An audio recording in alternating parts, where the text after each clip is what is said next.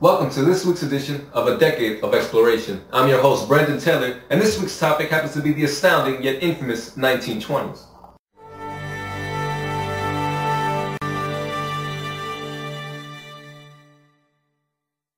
Let's get right into it. Just this past weekend, I had the luxury of going one-on-one with one of the most prolific authors of all time, F. Scott Fitzgerald. Not only was he ravishingly articulate, yet extremely humble as well.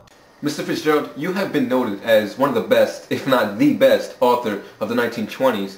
Now, what are some things that influenced your writing? Well, there are many things that will inspire you and motivate you to write, but most of all influence your writing. But for me, it has been reading other people's literature, things that they have written, their thoughts and perspectives on certain matters that have really enabled me to become a good writer. Wow, any specific people? Well, probably the most influential person in my life, now and forever, has been my wife Zelda. You know, no person has inspired me more to just accomplish all that I've wanted to accomplish than her. So she'll always be dear to my heart. Always. Thank you for your time, Scott. But that's not all the 1920s has to offer.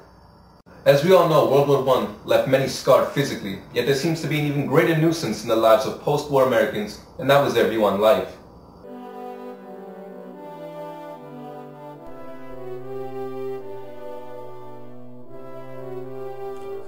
After World War I, the people of America had experienced a cynical era of materialism in which fashion, high-end automobiles, and beauty outruled all works of moralistic value excessive partying and alcoholic consumption, sculpted life for those such as the lost generation, made up of intellects, artists, and most importantly, veterans. Another uproar of the 1920s is the rise of flappers, flappers being any young woman 17 to 19 years of age who acted in various forms of unconventional behavior. Now let's talk legalism. Two amendments that greatly affected the 1920s were the 18th and 19th Amendment.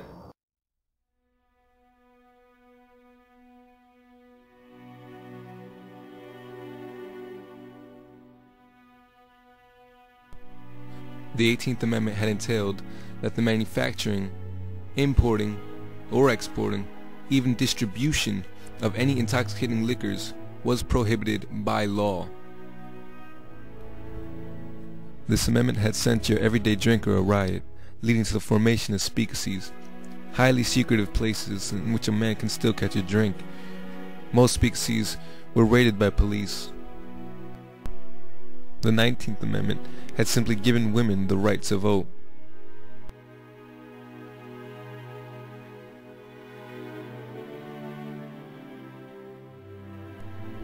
Yet with the prohibition of liquor came the widespread span of organized crime.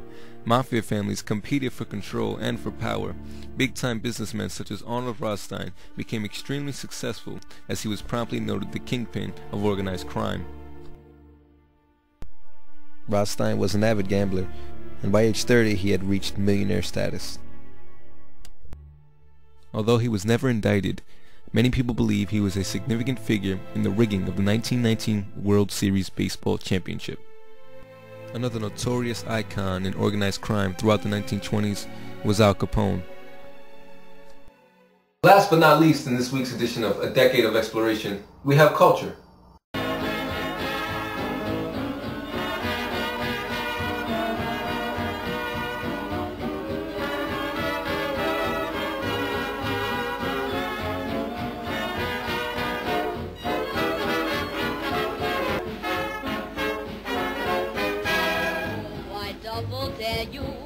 Sit over here. I double dare you to lend me your ear. Take off that high hat and let's get friendly. Now don't be a scare cat. Say what do you dare? Can't you take the dare? I double dare you to kiss me and then I double dare you to kiss me again. And if that look in your eye means what I'm thinking of, I double dare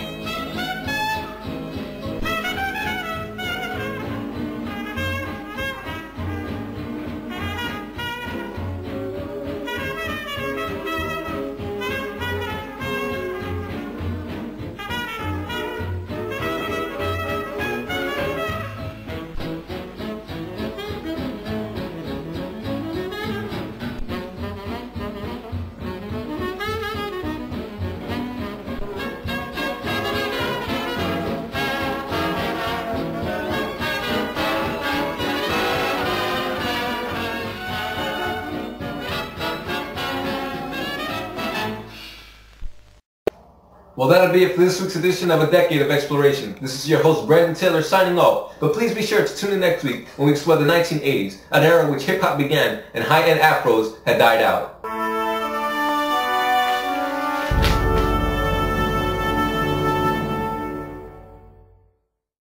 But probably the most influential.